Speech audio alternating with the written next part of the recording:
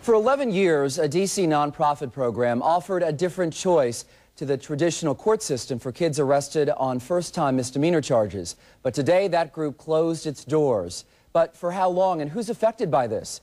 We get more now from Fox 5's Jennifer Davis.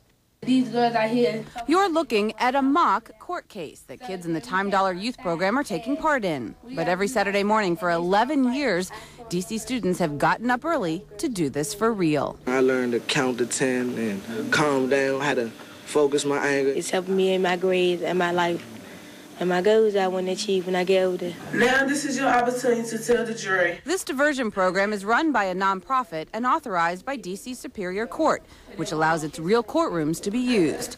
Kids spend 10 weeks as pure jurors, deciding each other's fate and handing down sentences that include things like community service. At this time, we would like for you to turn to your parent and give a verbal apology.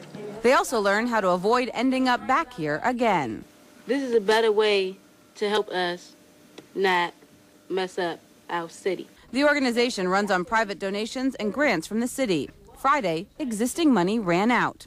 So for now, the program must stop while officials apply for new grants and search for more funds. This was our second chance for all of us, and um, taking that away is putting us back in the hands of the law, and um, I think we're all we're all losing a lot. DC police, schools, and court services referred more than 850 cases last year and more than 200 so far this year.